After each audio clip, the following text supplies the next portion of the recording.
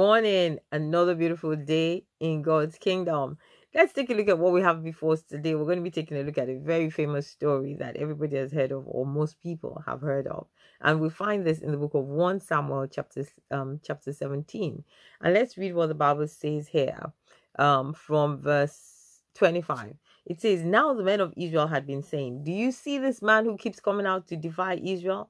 To the man who kills him, the king will give great riches, and he will give him his daughter in marriage and exempt his family um, from taxation. Sorry, exempt his father's house from taxation in Israel. David asked the men who were standing with him, What will be done for the man who kills this Philistine and removes this disgrace from Israel? Just who is this uncircumcised Philistine that he should defy the armies of the living God? The people told him about the offer, saying, This is what will be done for the man who kills him. Now, who was this? David was asking this question of the seasoned soldiers that were around him. Now, David was not a soldier. In fact, it's around about this age, he was presumed to be a teenager. He wasn't in the army, he wasn't called to the party, but this was one party that he was definitely going to take part in and take over.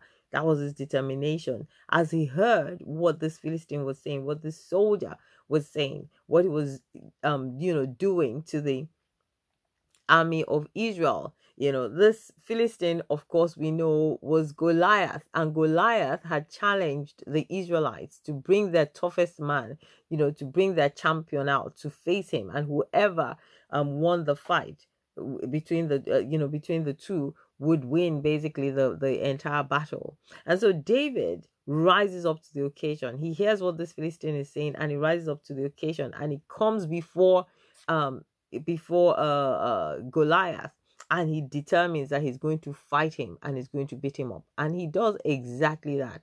What does it say? It says, You come against me with sword and spear and javelin, but I come against you in the name of the Lord of hosts, the God of the armies of Israel, whom you have defied. And this day the Lord will deliver you into my hand. I will strike you down, cut your head off, and give the carcasses of the Philistines to the birds of the air and the creatures of the earth.